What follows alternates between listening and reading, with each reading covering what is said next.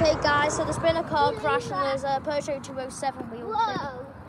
That Brother is just a came to smash see it. too big. It is wrecked. It's a smash too big. It is open plate, but Why don't you make a video? Um, Full scene.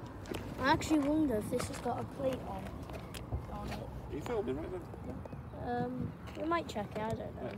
That's, So it's a back bumper, so it's got no plate on. So I think I'll just take this.